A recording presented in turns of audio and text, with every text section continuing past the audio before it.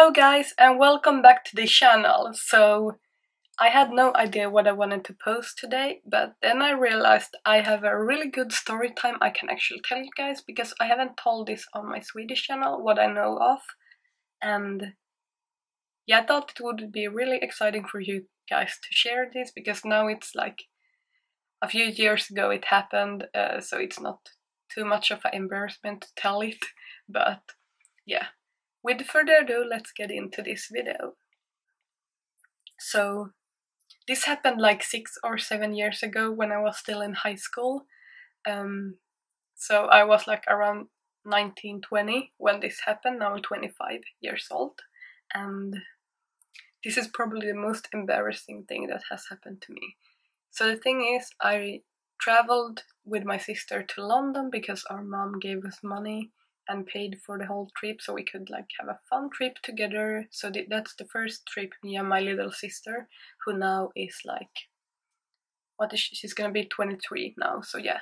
So this happened like a few years ago um like six or seven years ago. Um i was around 1920 and my sister who is two years younger um was with me. We were traveling to london together. It was our first trip like that we only do together as just her and me because we have traveled once before and it was with my friend one of the most one of the most fun trips I have actually had. It was really great and I actually enjoyed it a lot.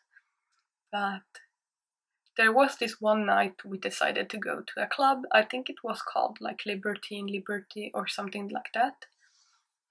And why we ended up in that club it's because in London if you want to party there are these so-called promoters. They come up to you and try to give you a really great deal um, and help you. But some of the promo- promoters are fake. But my sister realized this one was like a real one, and yeah, she said basically to us like, if you, we go to that club, um, we can maybe get like a table where we can like yeah have free drinks basically, and we like paid 180 crowns. That's like cheap when you think about one table and how much we drank. Um, but we got in, and even before we got in, we tried to like go to these other clubs, but they were too exclusive. It were like only celebrities and yeah, many of the clubs in London has like dress codes, and and also like some of the people only choose like good looking people to the clubs. So yeah, I know that's some that's weird when you ask me, but that's how it is. But either way, we ended up going to Libertine, me and her, and I can tell you guys, I didn't drink anything uh, before going to the club because I had a really bad migraine, so I took like some medicine for it, and I I like totally forgot about it that I have taken the yeah medicine. Um, so I decided to drink because we ended up having this table, and there was this dude, I think, who owned the table, who had bought it, and he was the one who was paying for these drinks.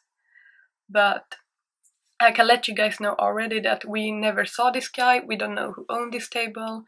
Uh, we just know that there were a lot of other girls there, there, and he was paying for all of our drinks, but we never knew who the dude was. But either way, so we go to this club and we get to the table and there the promoter is there also and some other people and she's bringing us drinks. Um they were really delicious. I remember it was like fruity grapey like grapes or peach kind of drink. It was really great and i ended up enjoying those drinks too much. I think i took eight of those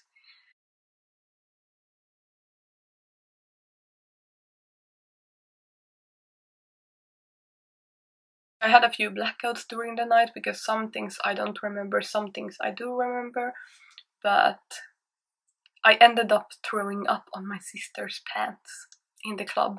It was so embarrassing. So I got thrown out from the club, and before we got to the club, there was this weird dude who was offering us a taxi ride, and he was basically a fake cab. And I was like avoiding that, of course, but then me being stupid as I am, I go with that dude that I don't know into a taxi by myself. I don't have even my jackets because at this point I don't know, I don't remember, but I remember getting into his car and he was like holding me like this. It's kind of creepy, but either way, I ended up going to this taxi and he was driving me around. I have I had no clue where I was. Then I remember I think my sister calling me or texting me texting me and I was explaining to her what happened and then she's like, Are you stupid? Why are you in that dude's car? And then somehow I I don't know, I realized what was going on and I got like I did get panicked. And he, this dude, he was supposed to I told him to drive me to the hotel, but he ended up driving me around, I don't know where, and then I got really mad because I realized that he wasn't gonna take me to the hotel. So I ended up telling him that I won't go anywhere with him unless I'm with his sister. Uh, oh, I mean, I told him I won't go anywhere unless I'm with my sister because we're gonna travel to the hotel, hotel together with the car. And I think he was okay with that. He got kind of afraid because I started screaming and yelling at him because I got panicked.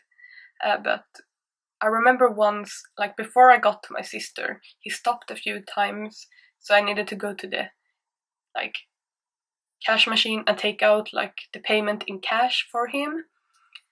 And then I ended up like he ended up driving me back to the club, I think. And then I saw my sister like a few like I don't know, a few blocks away um from the club. I saw her and she was sitting like there uh, on the ground together with this promoter. And they were like kind of laughing and being drunk.